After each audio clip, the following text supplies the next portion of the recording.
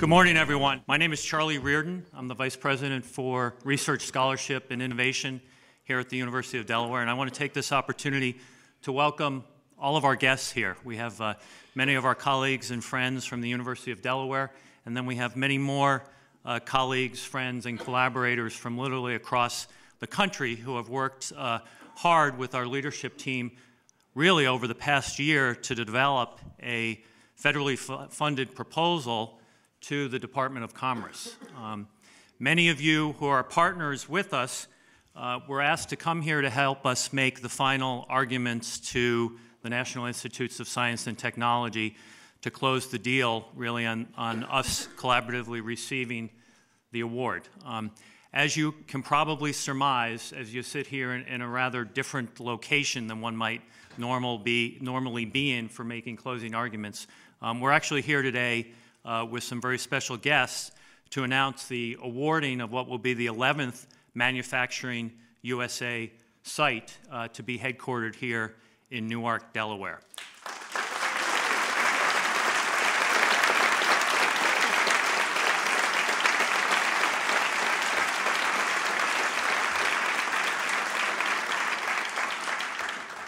Thank you very much uh, for that. You will hear uh, much more in the program ahead about this project, uh, what its goals are, what it hopes to achieve, and uh, its impact on biomanufacturing, biopharmaceutical manufacturing for the United States. Um, that program will begin in just a couple of minutes. Um, I will introduce you, though, to the acronym of this program that our colleagues and partners know quite well. So the acronym is pronounced NIMBLE. It's spelled N-I-I-M-B-L, and it stands for the National Institute for Innovation in Manufacturing Biopharmaceuticals. It's a mouthful, but nimble is much easier to say, and you will be hearing much more about nimble not only today, but in the weeks, months, and years ahead. Please welcome to the stage State of Delaware Representative and Governor-elect John Carney. United, United States Senator for the state of Delaware, Christopher Coons.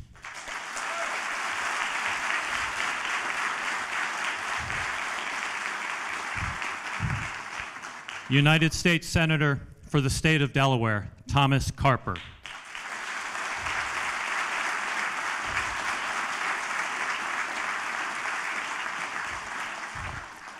United States Secretary of Commerce Penny Pritzker.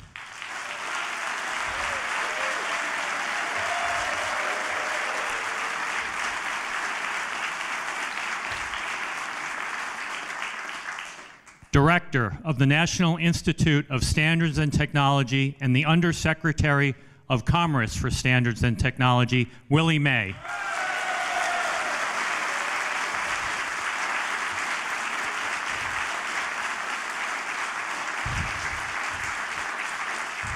And the President of the University of Delaware, Dennis Assanis.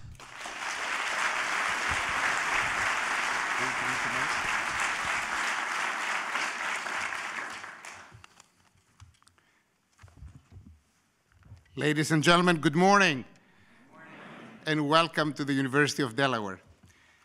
I can't tell you how excited I am to be here with you today for a, big announcement that will have uh, significant implications uh, for the future of our manufacturing innovation here at the University of Delaware, uh, our, our, our, state, our nation, and beyond. Before I start, I would like to recognize our uh, uh, VIPs for the event. And of course, uh, we'll start with the US Secretary of Commerce, Secretary Pritzker, NIST Director, Dr. William May, our congressional delegation, who are all tremendously supportive of the University of Delaware. We have with us today Senator Tom Carper, Senator Chris Coons, and Governor-elect uh, John Carney. We also have with us uh, two leaders from the U.S. Food and Drug Administration, Lawrence Yu from the Center for Drug Evaluation and Research, and Raj Puri from the Center for Biologic Evaluation and Research. I would also like to acknowledge uh, our trustees who are extremely supportive of the University of Delaware. And among the many distinguished faculty, scientists, uh, and industry partners that we have today, we're especially pleased to have with us the leading scientific contributors from the National Institute for Innovation in Manufacturing Biopharmaceuticals, which we fondly refer to as NIMBLE. One of our critical institutional priorities is to create a ubiquitous culture of innovation and entrepreneurship here at the University of Delaware. We're joined here by all of you today as we lay the foundations for our future, a bright future of innovation and entrepreneurship for our state and the world. Indeed, the University of Delaware brings significant strengths to this pursuit. UD has a long and extensive history in areas such as manufacturing, manufacturing innovation, and advanced manufacturing. I'll just uh, remind you of our uh, work in catalysis, for example, exemplified by Nobel laureate Richard Heck, whose work has revolutionized pharmaceutical manufacturing and so many other fields. Our chemical engineering program, which is ranked among the top 10 in the nation consistently, and our many university-led consortia, and especially I will highlight our Biotechnology uh, Institute, which has been set up here thanks to the great foresight of then Governor Carper and then Secretary of Finance John Carney. Let's give them a hand.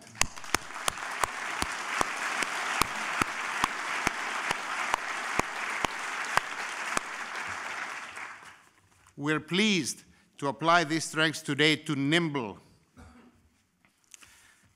Through this uh, wonderful pa partnership that uh, we're about to launch today, we're going to be innovating our future, a bright future in manufacturing biopharmaceuticals. Uh, we will educate the workforce of the 21st century in manufacturing, our students and our citizens of our state and the world, and we will improve the lives of people as we fight diseases like uh, cancer and Alzheimer's. So I'm extremely excited to be with you today, and at this moment I would like to invite Dr. William uh, May to come to the podium. Let's welcome Dr. May.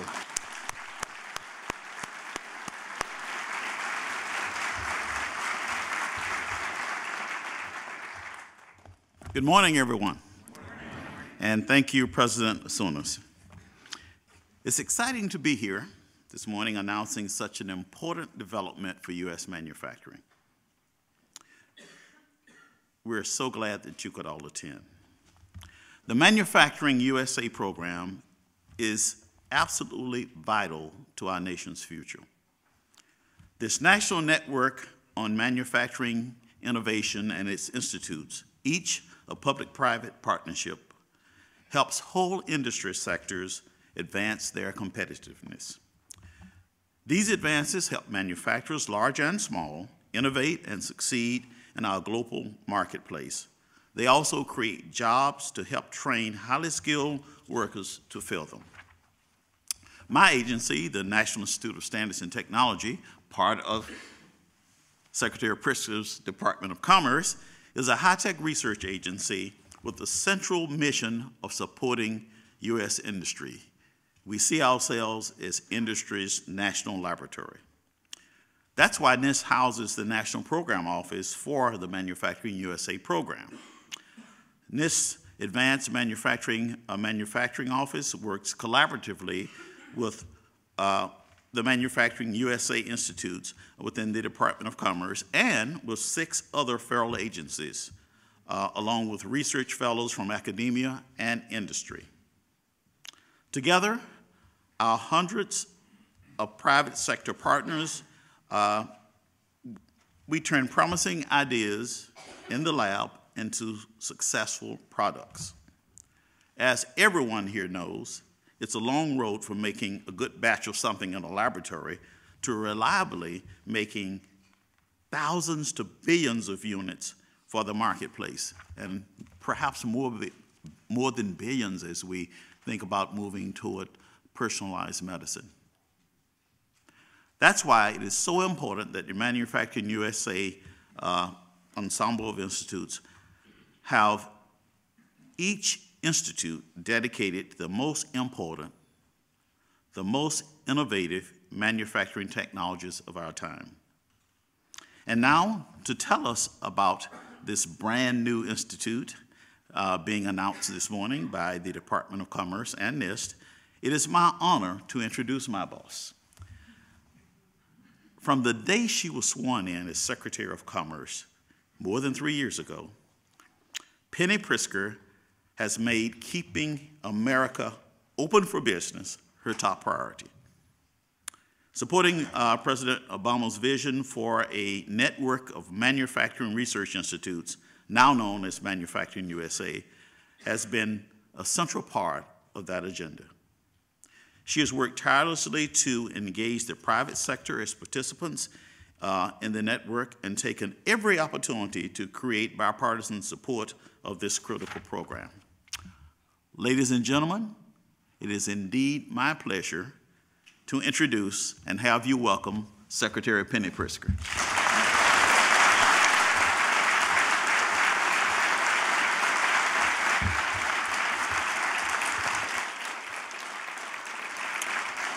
Good morning, everyone. Good morning. I am just thrilled to be here. It's great to be here at the University of Delaware and announce the latest addition to the Manufacturing USA Network, the National Institute for Innovation in Manufacturing Biopharmaceuticals, or NIIMBL.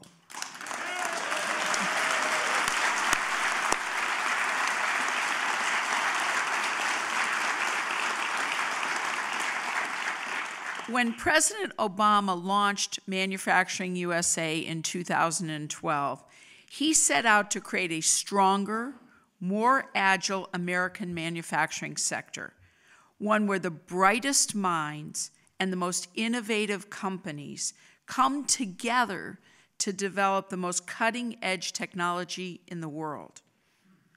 Four years later, yes, just four years later, in communities from coast to coast, the Manufacturing USA network is breaking down silos between the U.S. private sector and academia to take industry relevant technologies from lab to market. With today's announcement, the network adds another 150 members from 25 states, including Massachusetts, Maryland, and New Jersey, and of course, Delaware to its more than 1,300 partners. Nimble, though, is the first commerce led manufacturing institute. So let me repeat that. Nimble is the first commerce led manufacturing institute.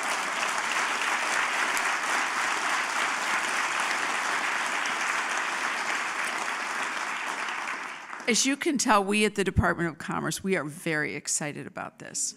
Hopefully, this will not be our last institute. To determine its area of focus, we at the department solicited proposals from across all sectors of the economy and from all across the country.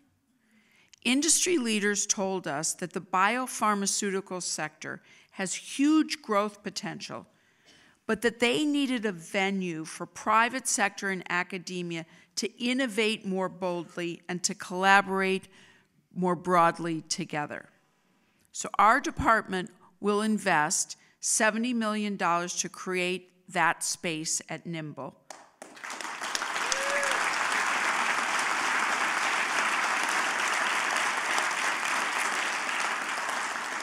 And those taxpayer dollars will be matched by at least $129 million from private companies, state governments, research universities, and community colleges.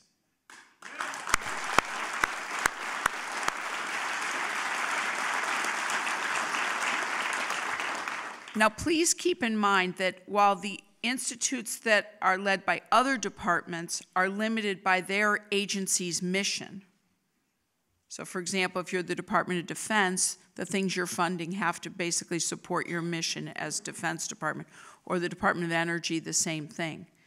The commerce led institutes, they focus on taking technologies from lab to market where industry has determined there's the greatest potential.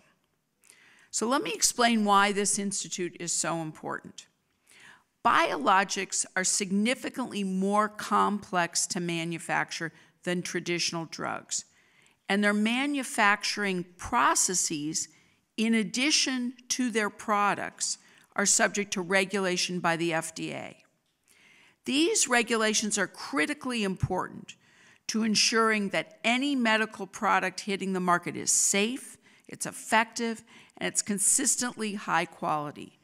So that's a really important role that the FDA plays.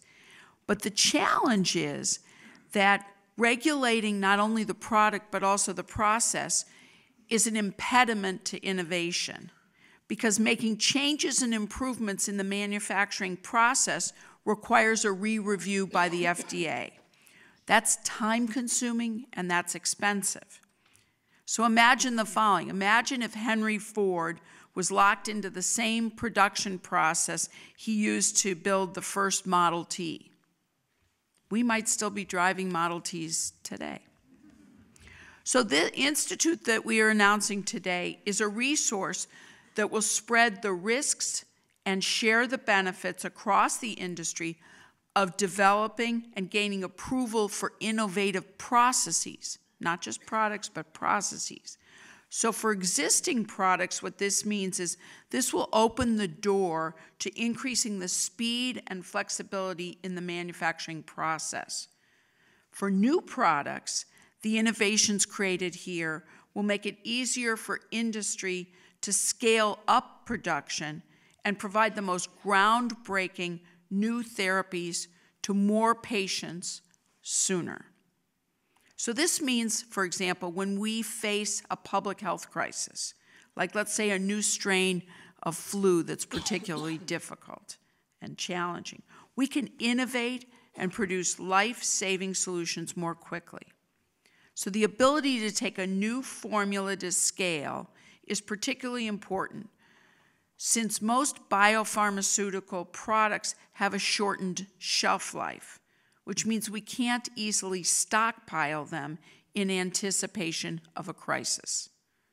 So, this institute, in addition to helping us do manufacturing better and being more innovative, will also create a venue for industry and academia to find solutions together to the growing skills gap facing the biopharmaceutical sector. Jobs in biopharmaceuticals pay twice as much as the national average. Please tell your children that. if it's too late for them, tell your grandchildren. But companies often struggle to find skilled workers to make these next generation drugs. So NIMBLE will work with community colleges and universities across the country to develop curricula, internships, and faculty sabbaticals that meet the technical demands of biopharmaceutical manufacturers. It will also implement STEM education programs at the K through 12 level to deliver a highly trained and diverse workforce to meet the opportunities of this growing sector of our economy. But keeping product innovation properly, by keeping product innovation proprietary to industry while partnering on process innovation and training programs that better prepare our workers, this institute will help the American biopharmaceutical industry remain the world's leader. Now, I want to thank the members of Congress for providing the funds to the Department of Commerce and NIST for the first institute that's focused on the high potential technology that was suggested by industry. As a result of our original Department of Commerce solicitation that led to the award today to Nimble, we also have additional prospects in the queue that are ready to go if we can get the funding. Now, I believe these advanced.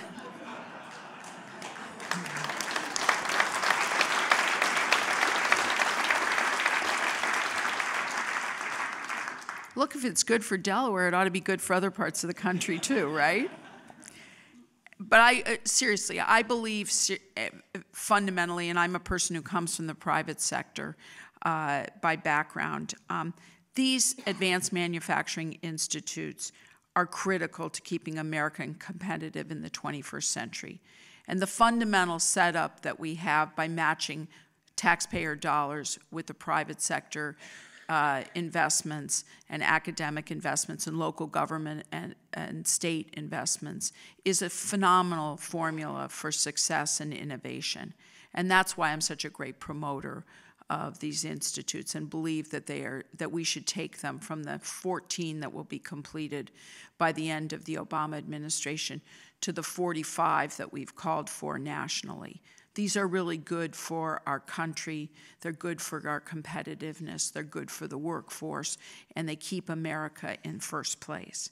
So imagine, you know, um, think about the following from Samuel Slater's textile mill to Henry Ford's Model T to today's biopharmaceuticals.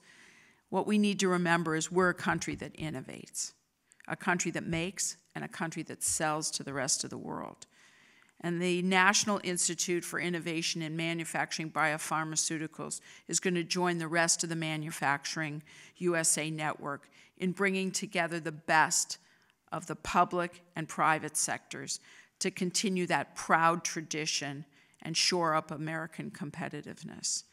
The work done here is going to ensure that Made in America remains not just one of the world's best brands, but the hallmark of an innovative, constantly evolving industry that builds lasting careers and stronger communities. So, congratulations to the entire team that created and is committed to the vision of this institute. Thank you.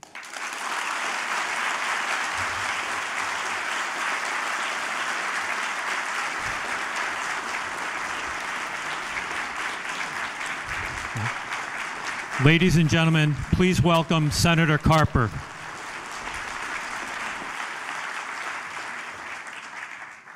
Please remain standing.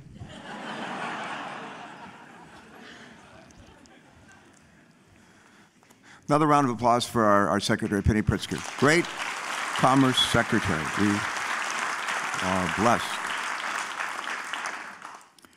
Dennis Assanis, uh, Madam Secretary, has been our his inauguration was about a, week or two ago, so he's been our president officially for uh, a couple of weeks.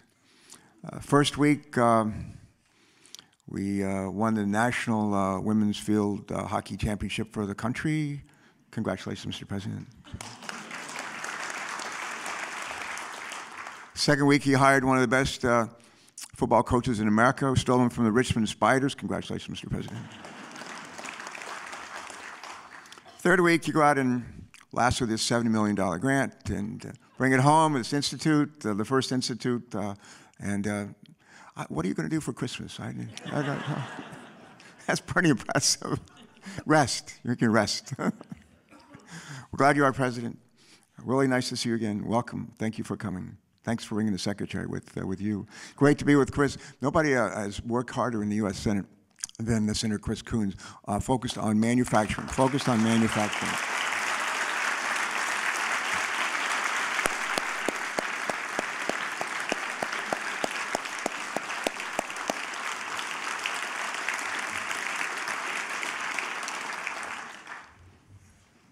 John Carney uh, was, uh, I don't know if it was the voice of God or the, sec- uh, the president who said that John and I worked together on Delaware Biotechnology all, all those years, Institute, all those years ago.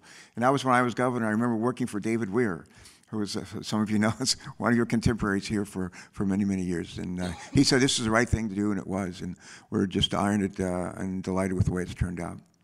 Sometimes people ask me what I do, and when I was governor, I used to tell them I work for the, the Director of Economic Development for the state of Delaware and, uh, and, uh, and for David. Uh, but the most important thing that I think people in our jobs do is try to make sure that when people graduate from high school or community colleges or Dell State or U of D or any other college or university to make sure they have a job. Uh, a job that uh, will enable them to support themselves and their families and to make contributions to our country and, and to, to the world. The, uh, one of the things that, uh, Penny does is she leads a department whose job it is to create a nurturing environment for job creation and job preservation. And every day that uh, Senator Chris Coons and I, uh, John uh, goes, goes to work, uh, the governor, Jack Markell, go to work, that's really what we focus on. That's really what we focus on. And one of the things that this university, Del Tech, Del State have done for years is when a company like MBNA comes along and they need uh, employees, thousands of them, actually tens of thousands of them at the time, to be able to go to work and help run a big financial services institution, they're provided by this institution and by their sister institutions when there is a need to, to develop those performance coatings, painting for that Model T that you talked about, the DuPont and this university help provide the, uh, the, the, engineers and scientists to develop uh, that technology and, and those skills to, to meet that, uh, that need. We feed a lot more people around the world today than we ever did before. And part of that is from people who were trained, many at this school, to be able to, to grow the, uh, the healthier chickens and to grow healthier, uh, uh, uh more uh, nutrient, nutrient foods, including soybean. and this, the, train, the training and the providing of the workforce was critical to the success of those industries, critical to the success of those industries the world of pharmaceuticals is changing. And uh, I don't know if it was Penny or, or, or, Willie mentioned, I think Willie mentioned, uh, personalized medicine. Personalized medicine. I don't know how many people are in here, in here, Mr. President, but there's looks like maybe 500 people or so. If there was a, uh, there was a, a, a pharmaceutical that was developed that would help five people in this room, but the other 495 uh, people in this room would not benefit from that, uh, that medicine. We have to be smart enough to make sure that the five people who need it get it, and the 495 don't, and they get something else that will actually help them. We call that personalized medicine. And one, one of the ways that this works to, uh, to help us moving forward, providing better outcomes, better medical outcomes, but also better jobs, better opportunities, is uh, through these, uh, through this, the, the, work of this, this institute. So there's a, a huge payoff here. It's a huge payoff here. And the payoff is providing jobs for, there, there's jobs that need to be filled literally right now. And this institute, this collaboration is going to help train people, prepare people for those jobs, which is good. And the other thing was help do the R&D, the technology, and the research to create more jobs, more jobs and more uh, entrepreneur, entrepreneurial activity, which is what we all know that we need. I'll close with this. Uh, Penny steps down as our secretary in a month or so. Uh, Joe Biden and uh, Barack Obama stepped down from their uh, responsibilities as well.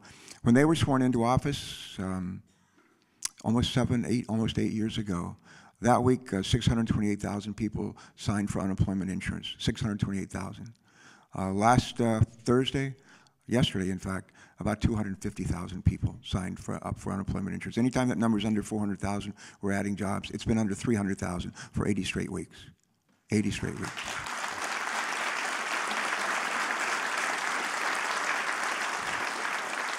And uh, we still have uh, people unemployed. Unemployment rate's been cut in half but uh, we've made uh, real progress there. 15, 16 million people who didn't have a job uh, six years ago have a job today. And, but we know that there are people who still haven't gotten the opportunities that they need. And the key to that, meeting that, uh, that their needs, is to make sure that they get the training, the preparation for the jobs that are going out there that are begging.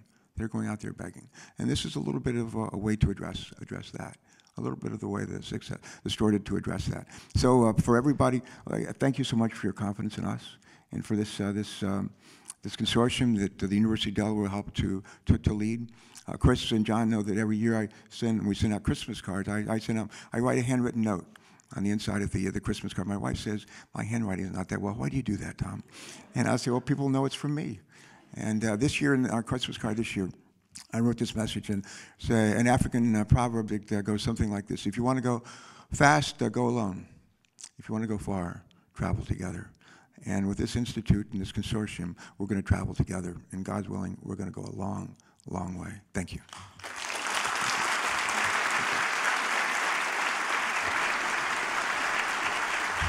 Ladies and gentlemen, please welcome Senator Coons.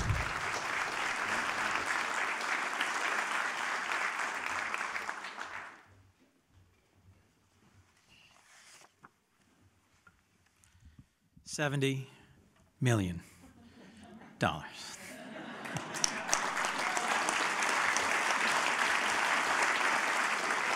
I'm sorry, I just had to say that one more time. Just to Secretary Pritzker, uh, to Dr. May, um, to President Assanis, uh, to my great friends and colleagues, uh, Senator Carper and Congressman Carney, Governor-elect Carney. this is a really big deal. This is a huge and an exciting day. This is not the end of a journey, but the beginning of a remarkable next stage in the journey of being global leaders in world class manufacturing. And for someone who worked in manufacturing in Newark, Delaware, and has been passionate about manufacturing since I got into public office 16 years ago and six years ago in the Senate, this is a really exciting day because this is the moment that the University of Delaware doesn't just say dare to be first, but steps forward to join 11 national manufacturing hubs as the center around which a whole new series of innovations in biopharmaceutical manufacturing will be made. Just reflect on that for a moment. 25 out of our 50 states will be involved in this network.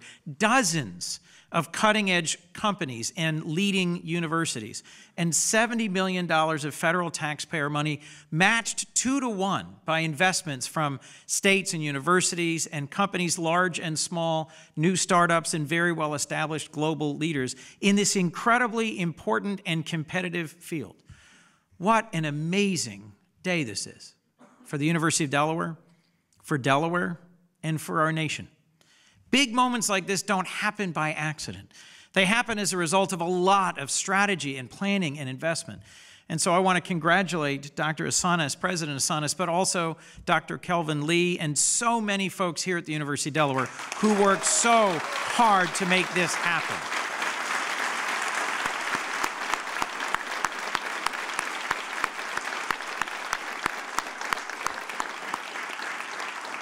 My friend and senior senator just reminded us of the African proverb if you want to go far, go alone. If you want to go, excuse me, if you want to go fast, go alone. If you want to go far, go together. And I'll remind you that back when he was governor, he and the then president of the University of Delaware, the then Secretary of Finance, our congressman, and the then General Assembly had the vision to start Delaware's Biotechnology Institute here at the University of Delaware.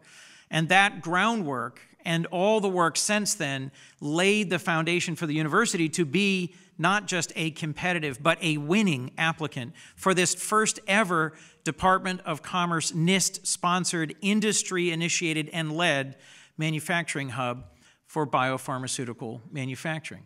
Similarly, at the national level, this strategy took several years.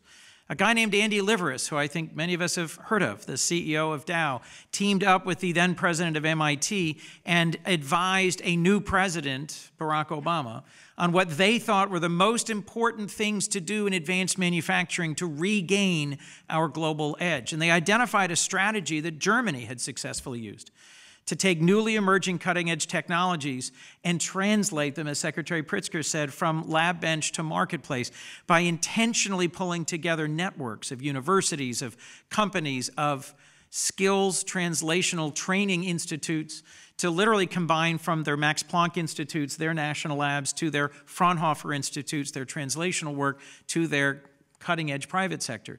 So, how is it that the German nation? Had double the percentage of their GDP in manufacturing that we did just five years ago, even though they have higher and more expensive labor rates, even though they have higher and more difficult environmental and health regulations than we do, how were they beating us at our own game? Double the percentage of their GDP in manufacturing. This strategy was identified by Liveris and Hockfield as the key deciding factor for them. And then President Obama led an initiative, talked about this in his State of the Union in 2013 and 2014, chose a terrific Secretary of Commerce in 2013 who really got this and who got behind it. And a bipartisan group of senators and congressmen passed a bill to authorize this initiative. Madam Secretary, I don't think it's any coincidence that today, exactly today, is the two year anniversary of President Obama's signing ceremony for the Revitalize American Manufacturing and Innovation Act, a bill of which I was proud to be one of the co sponsors in the Senate. But it then takes the fuel to make it move forward. Appropriators had to put money in the till so that we could have first one, then two, then five, and now 11 institutes. And yes, I, I hear you loud and clear. Soon 15, and then 30, and then 45. If you don't know what NIST does, if you're unfamiliar with this remarkable National Lab for Industry, Many of us first are, became familiar with it through the Manufacturing Extension Partnership, which has a chapter here in Delaware that does amazing work at helping manufacturers, large and small, connect their skills needs with their capital needs with cutting edge technology to be globally competitive. But NIST, this roughly billion dollar agency headquartered in suburban Maryland, which has thousands of researchers, is running all of the manufacturing hubs across the country, is coordinating the overarching strategy, and is going to help going into the next generation and the next administration lead this. I choose to be an optimist about the future of this Manufacturing USA strategy because President elect Trump just chose who to be his leading manufacturing advisor? A guy named Andy Liveris, the president of Dow, who has made this one of his major areas of initiative. Now, why does this matter? Aren't we the global leader in biopharmaceuticals now? Aren't we the unquestioned leader? Well, I wish that were the case, because this is such a big deal. It's already 3% of our GDP. It's about 800 billion in economic activity globally, and it's one of the most R&D intensive sectors in the world. And yes, the United States leads the world in discovering and inventing and deploying new biopharmaceuticals. But you remember these things? Anybody got one of these? It was at the University of Delaware that a professor and a graduate student developed this, remember, which they spun out into Fingerworks? Virtually all of the technology that makes these was invented in the United States. How many of these are manufactured in the United States? Right? So, the story the secretary shared with us about how Mr. Ford Back when he first developed the Model T, he had a certain manufacturing process. And if he hadn't innovated that manufacturing process, right, today we don't, right? There's a challenge. There's also a Mr. Toyota and a Mr. Hyundai. There are other countries that are significantly outstripping us in investing in biopharmaceutical manufacturing. And the vast majority of new investment in the world in the last 10 years in biopharmaceutical manufacturing has happened outside the United States, where countries like China, and Germany and the UK see this potential and are moving ahead of us. So, this institute, this institute, NIIMBL, started and led here at the University of Delaware, will be the next chapter of a powerful example of public private partnership, catalyzed by a critical investment of federal leadership and federal taxpayer dollars, but sustained by the work, the research that'll be done here at the University of Delaware where we're going to end up inventing and innovating world class changes in those manufacturing processes that will help American companies to continue to be the leaders in these cutting edge bio based pharmaceuticals that will develop and deploy the treatments and cures to the most difficult, most expensive, most painful conditions that afflict humans the world over. What an absolutely awesome moment. What a point of inflection this is to push not just the University of Delaware, not just Delaware, but our country, into a next phase in being a global leader in manufacturing. If you think about it, pharmaceuticals in Delaware for a long time have been a sector where we both have researchers and manufacturing. There's still an AstraZeneca manufacturing plant just down the road on 273, and there's still pharmaceutical research being done by several companies in Delaware. But in the manufacturing of the next generation of biopharmaceuticals, this investment, this hub, is going to be the moment that turns to an amazing future. So, to everybody at the university, to everybody at the department, to everybody at NIST who has made this possible, thank you for a moment of enormous inspiration. And to all of us who will work together tirelessly to sustain and support and fuel this for the years to come, what an exciting opportunity we have together. Thank you.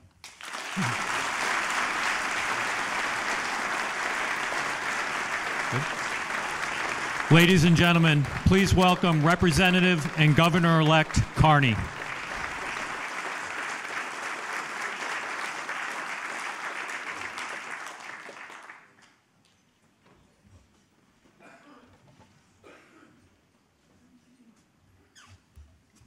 Is this exciting or what? I thought Chris Coons was going to levitate off this stage. He is so excited right now. And appropriately so. I can't tell you how excited I am. And it's not because I'm leaving Congress and coming back to Delaware. My successor, Lisa Blunt Rochester, here in the audience. But that's part of it. It is part of it.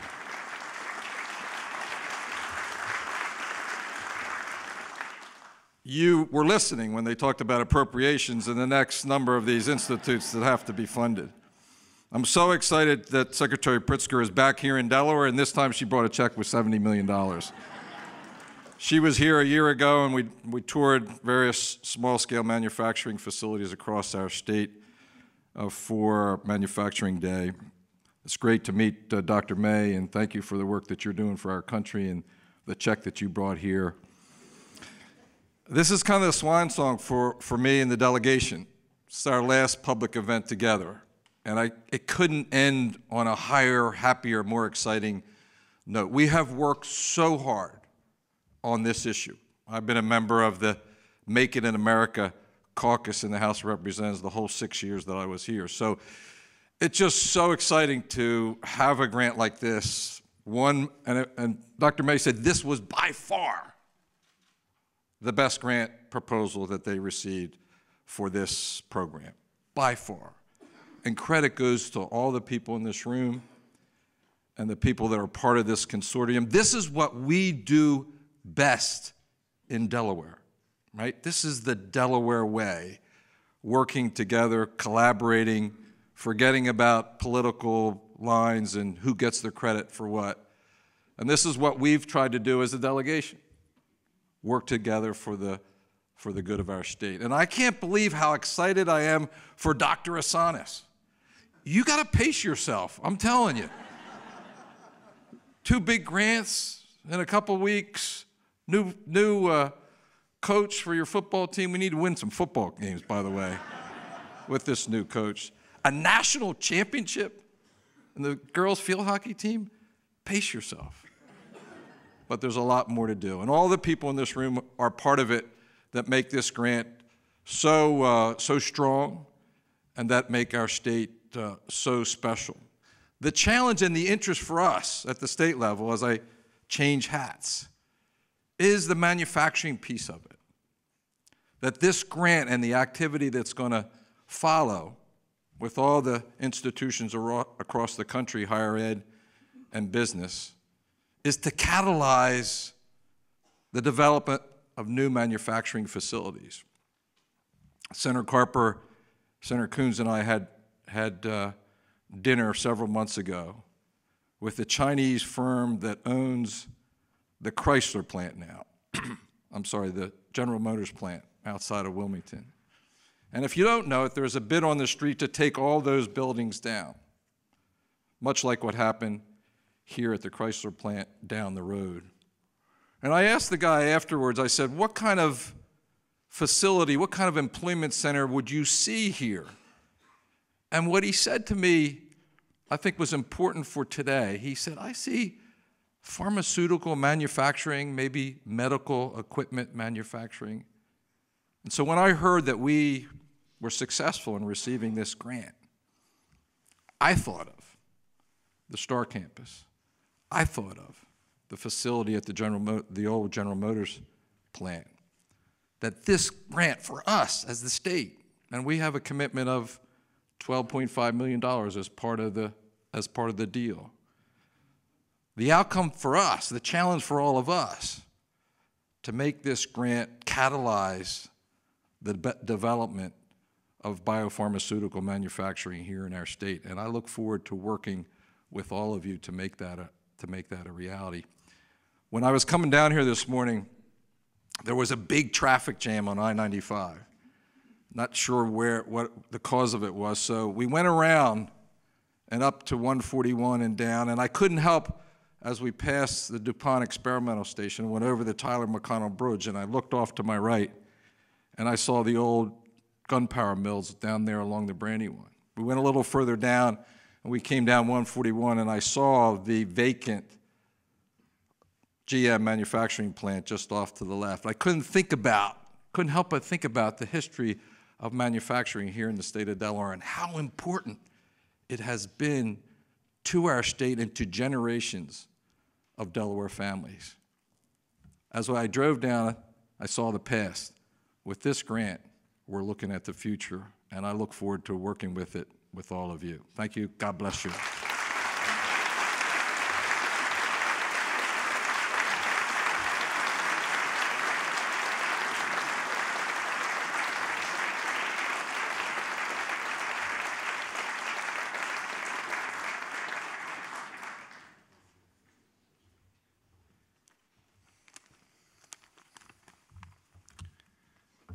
Wow. what an awesome day for the University of Delaware, our state, uh, and all our partners today. I cannot tell you how thrilled I am to be with you, uh, Senator uh, Carper, Senator Coons, uh, Governor-elect, uh, Secretary Pritzker, and Dr. May. Thank you for delivering the amazing news, but also thank you for delivering the check for $70 million. So I have to tell you, just in case you haven't realized it so far, today, together, we're making history. This uh, $70 million research and translation grant is the largest grant we've ever received in our treasured 273-year history at the University of Delaware.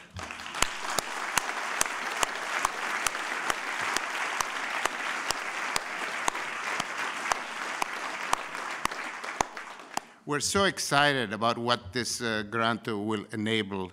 Uh, the innovation in our state, the great education for our students who will become more flexible, more agile, more nimble, you know, no, no pun intended, to enter the workforce of the future. And I have to tell you, this uh, 12th um, NNMI, uh, Madam Secretary, this one is going to be the best one of all 12.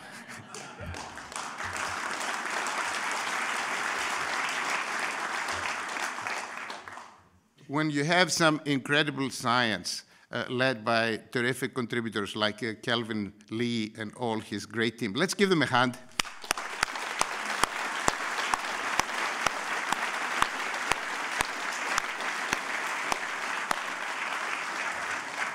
So when you have this incredible science combined with the Delaware way, then the, the, the possibilities, the, the frontiers are limitless you can only see infinite possibilities, and, and that's really what is uh, so terrific here.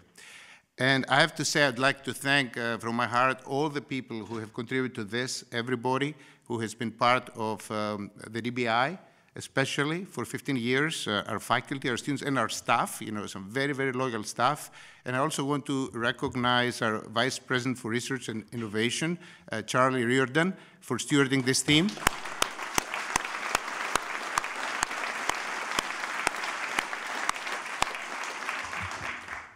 And I have to tell you, we have been on a roll. Uh, last week, uh, Madam Secretary, there was an announcement from the Department of Energy as well. And uh, we have become a part of a winning team of another NMI, number 13 in the country, uh, which is, uh, of course, building on a strength in, in catalysis, and it's under the uh, auspices of the American Institute of Chemical Engineers. its acronym is RAPID. And so I fondly say in my first six months, we have been rapid and nimble.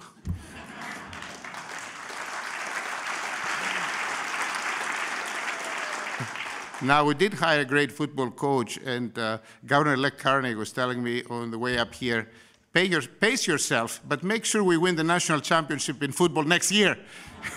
we have to wait a little bit.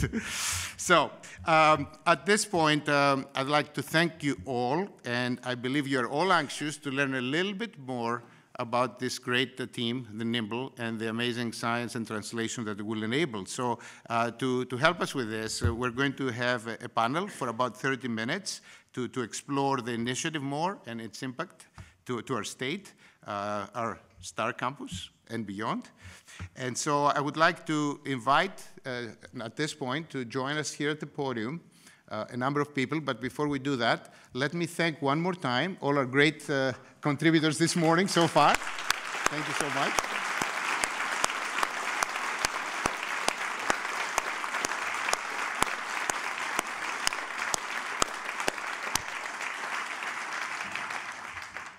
Secretary Pritzker is staying here because she has a $70 million check. You know, she's not going to go anywhere. we won't let you. So uh, first, I would like to, to have with us uh, Kelvin Lee. Uh, professor Lee is the Gore Professor of Chemical and Biomolecular Engineering. He's the director of uh, the Delaware Biotechnology Institute, and uh, he has the privilege to be the leader, uh, first among equals, in this great partnership called NIIMBL.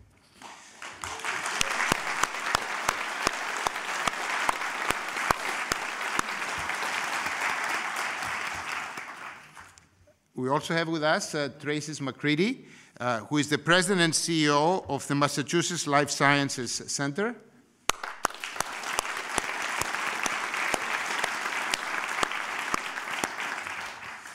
Beth Junker, who is the principal consultant with Bioprocess Advantage LLC.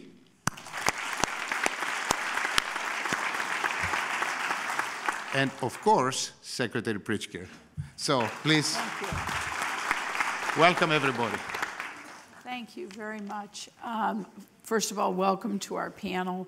It's great to have you all here uh, representing different points of view from industry, from the state perspective, and obviously from the perspective of NIIMBL itself. But um, let me kick this off. Question, I'll start with you, Beth, but it's a question for really the whole group, which is the biopharmaceutical industry is global in nature and it operates in a highly regulated space.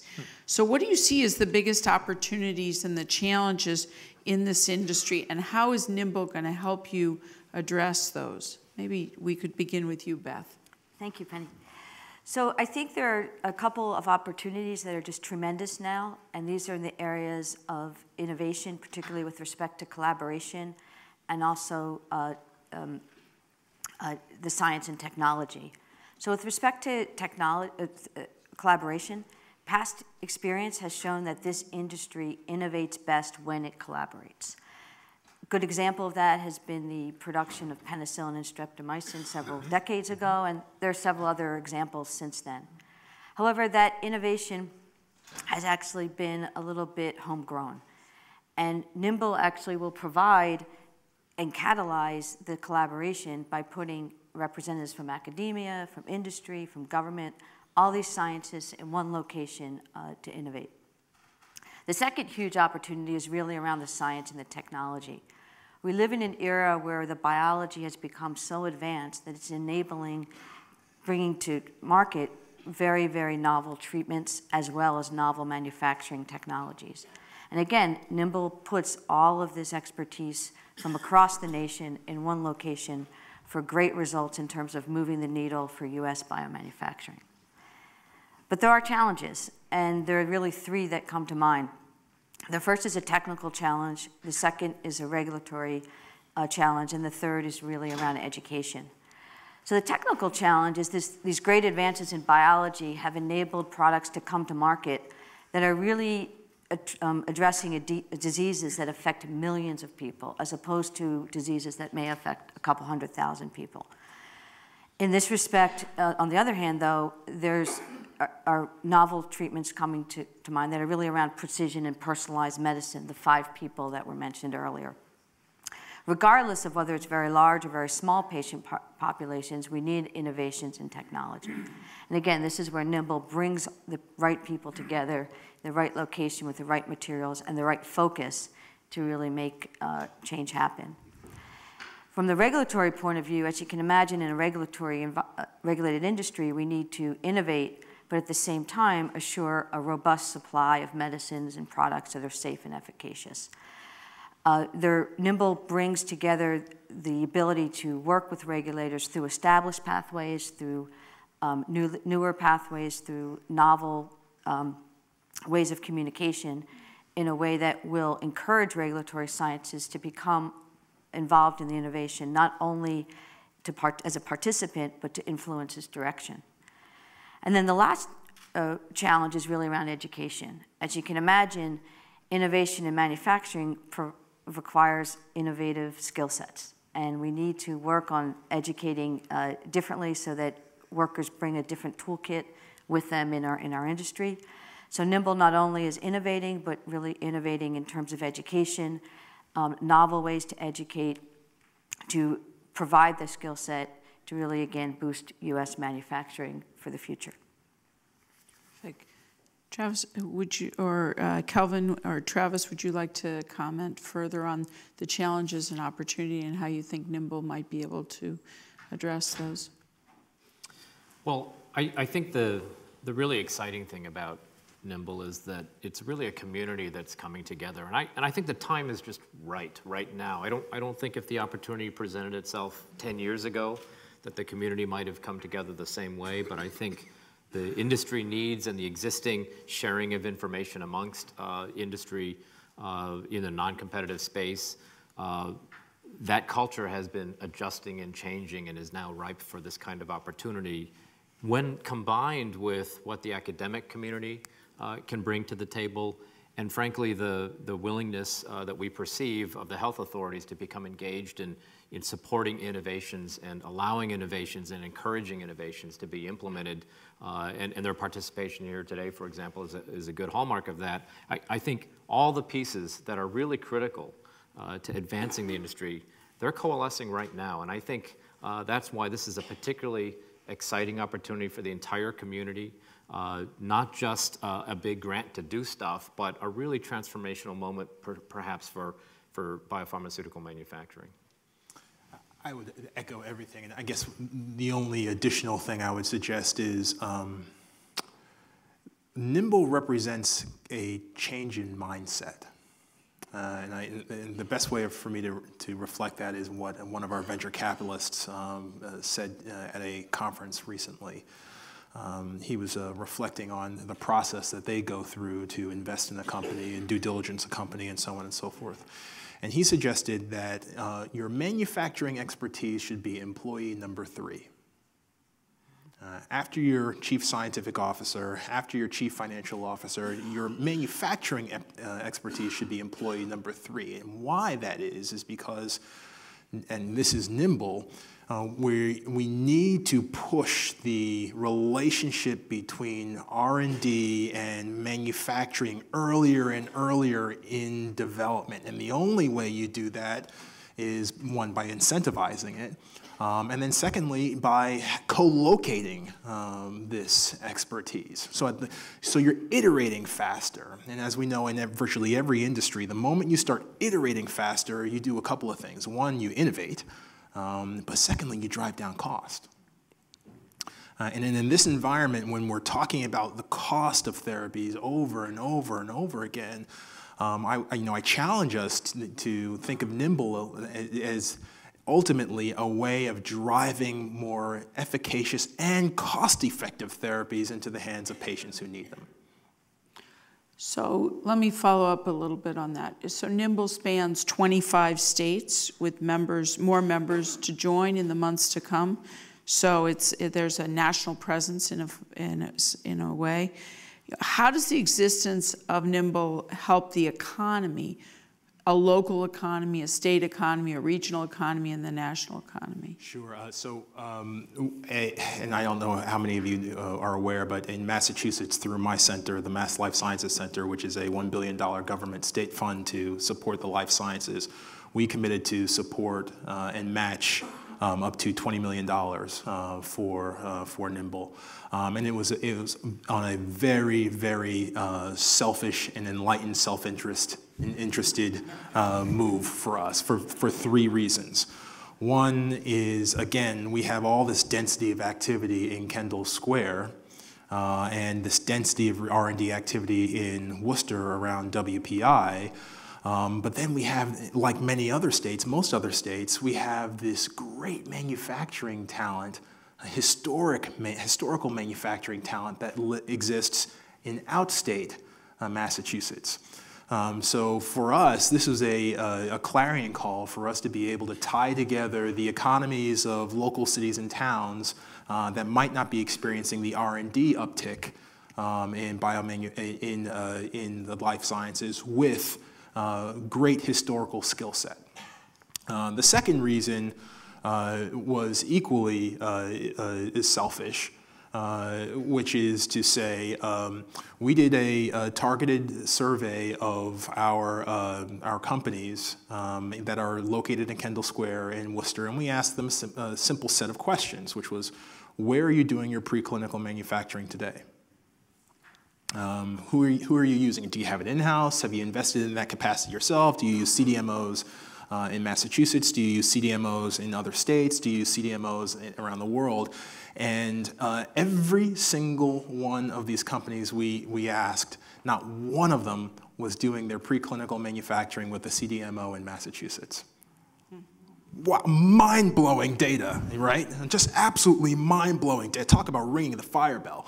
Uh, and so for us, you know, it's this notion that we have to, again, to the, the first point, we have to co-locate.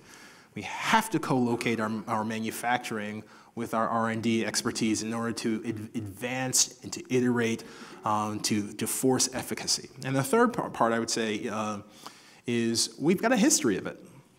Um, I believe that we have the first FDA-approved uh, single-use, 100% uh, single-use facility um, in Mass Massachusetts um, um, with our friends at Shire. We have the first FDA-approved um, continuous manufacturing facility with our friends at Vertex down on the seaport. Um, people are hungry for it. Um, so this match um, was, is really uh, just providing additional oxygen to the direction in which um, the industry wants us to go um, and needed the capital infrastructure in order to get there. Terrific. Uh, Beth or uh, Kelvin, do you have any other thoughts about the economic impact either locally here, regionally, or across the United States?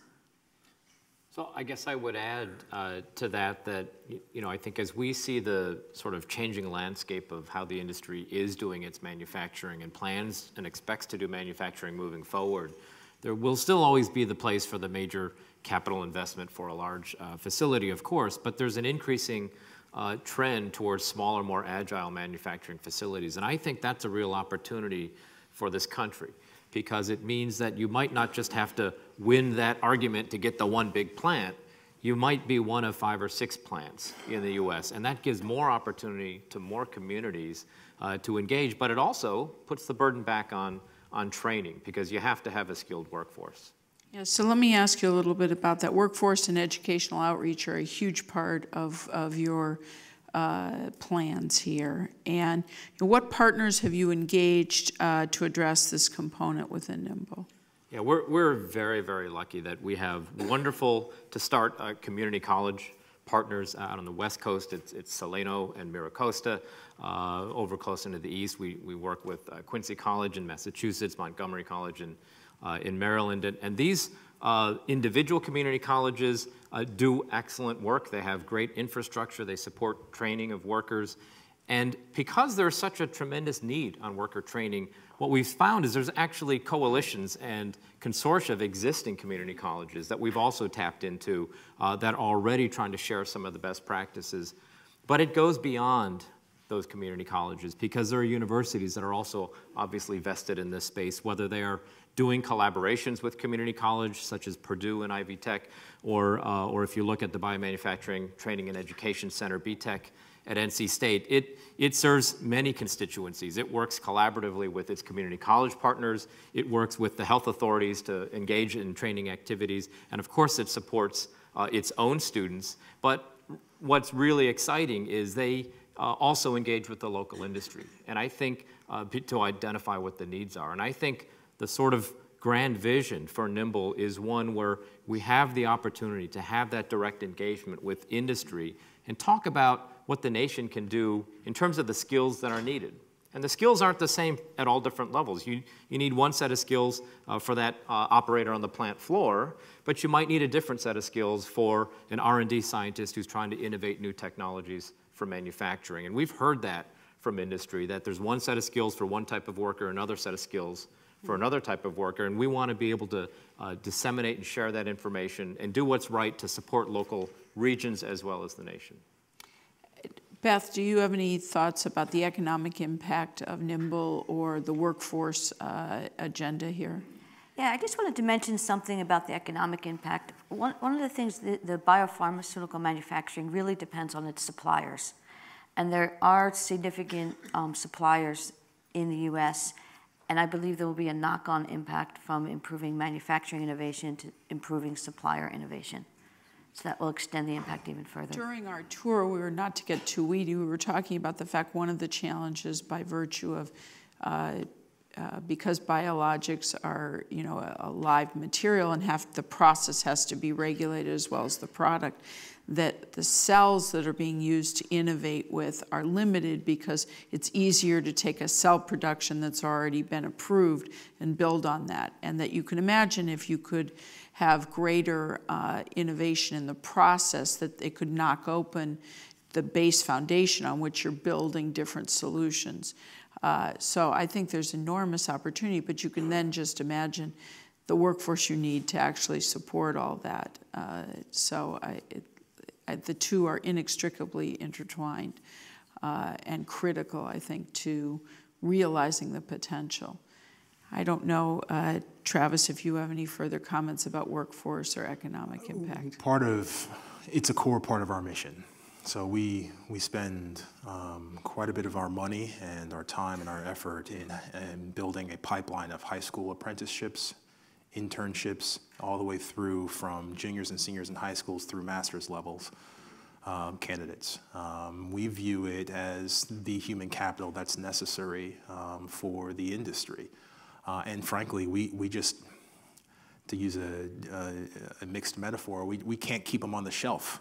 Uh, we, we just can't keep these, these young folks on the shelf once we, once we skill them up um, or once we reskill.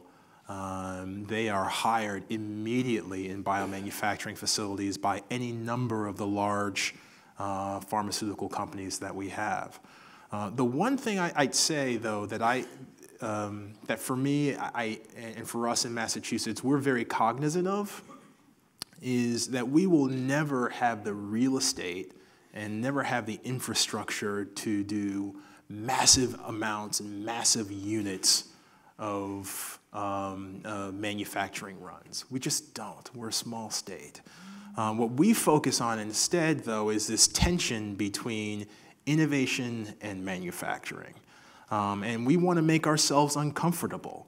Uh, we want to put ourselves in a position where we might actually be making some of our manufacturing processes obsolete um, based on the innovation that's taking place through a nimble type of architecture.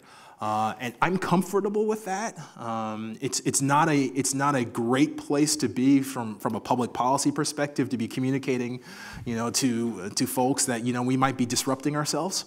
Um, but isn't that a reality of today's manufacturing, regardless of whether it's biopharmaceuticals or other things? I absolutely agree. Technology absolutely. is helping us to reinvent uh, how we think about processes in so many different ways. I, absolutely, and, you, and if you go and you drive through any city or town in Massachusetts to any number of abandoned textile mills.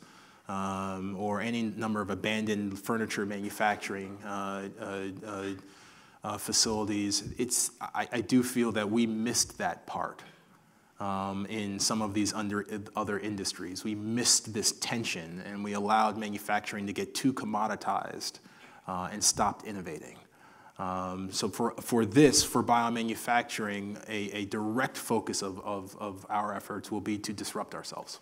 You know, one of the things that I've learned as secretary traveling all over the world and seeing, uh, you know, because innovation is one of our uh, core things that we work on, both domestically and internationally, is the point you're making. We're, as a society, going to have to be more and more comfortable being uncomfortable. Yes. And we're going to, as a society, also, and we have the capacity to do this as Americans, I'm convinced of it, Absolutely. because we have flexibility uh, in our system to continuously, as humans, evolve our what we know how to do in keeping with the technology as it's changing.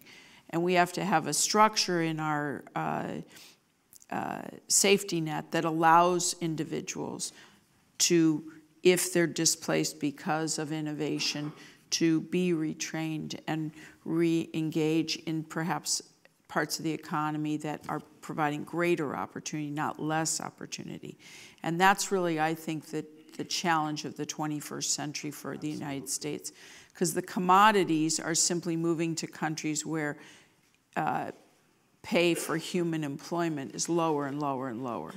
And that's not where we are as a society. We want to be moving up, and we've got to figure that training. And that's one of the reasons the Obama administration, and I, this has been something since day one of the administration, even before I was involved as secretary.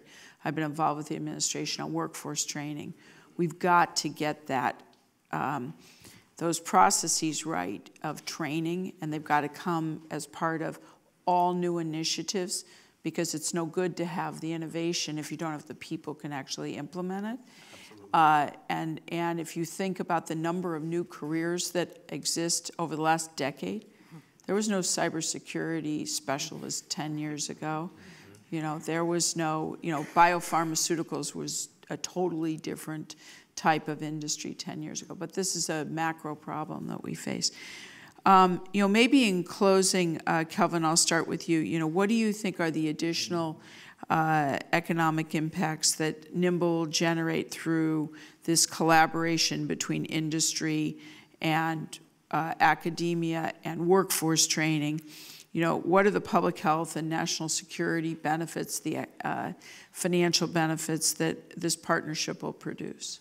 Yeah, I, I guess I, I think about that in, in kind of two ways. I mean, on the one hand, when you mention public health uh, benefits and, and security benefits, I, I think about innovations in a workforce that can develop the approaches to manufacture medicines and go through that process of developing those manufacturing processes faster so that uh, the time from discovery of a medicine to when you can have that delivered to a patient, if you can accelerate those timelines, uh, whether it's uh, for treating uh, cancer or perhaps uh, for vaccines uh, to treat public health threats that, that could be natural or they could be man-made. we want to be able to have the nation ready as quickly as possible. The, the flip side, and, and this is where I think there's tremendous economic potential, is when you think about some of the emerging products that are not commercially available. So people talk about cell therapies or gene therapies. Uh, these are uh, transformational uh, medicines that will really benefit a lot of patients. But right now, there really aren't established uh, commercial manufacturing paradigms and processes. And so, how are we going to develop those so that we can allow that manufacturing to happen here in this country uh, and eventually let it uh, disseminate uh, wherever else it needs to disseminate, but to continually innovate here? I think that's going to lead to economic benefit as well as uh, benefit uh, for patients here as well as around the world. And I think those are some of the most exciting aspects of, of what we're proposing to do. And from a national security standpoint, as we have biological threats, I would assume it also allows us to much more rapidly be able to address those. Exactly. I mean, the ability to, to know and anticipate what a threat is and be able to get medicines manufactured is one aspect of it. Another is when you might be able to anticipate what that threat is and you want to have a stockpile of medicines you know, if that stockpile only has a three-month shelf life or six-month shelf life, uh, that's not as good as if you can have a one-year or one-and-a-half-year shelf life because it costs money to make these medicines, and you want to have that supply available as needed. Terrific, terrific. Well, I, you know, we could go on for, uh, I think, all morning, but uh, I want to thank our panelists, uh, you know, Beth and, and Travis and Kelvin uh, for uh, sharing with us really you know, bringing to life what NIIMBL can be and will do, not just for here in Delaware, but for the country at large. So thank you very much.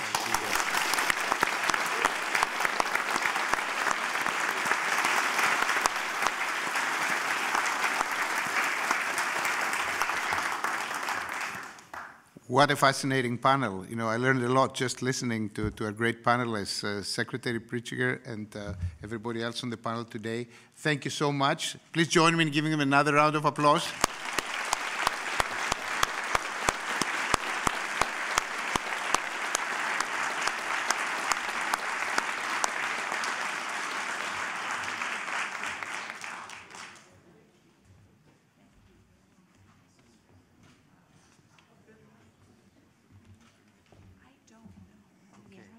Um, just wanted to, uh, to close by saying this is a, an unbelievably inspiring day as we will all work together with uh, Secretary Pritzker and uh, our wonderful scientists here to, to, to make uh, our aspirations a reality, to innovate our future for uh, a greater manufacturing enterprise uh, in America and obviously to benefit our citizens and the world. So a celebration is never complete without a real celebration. So please join us to, in the lobby now so that we can all cheer for Delaware. Thank you.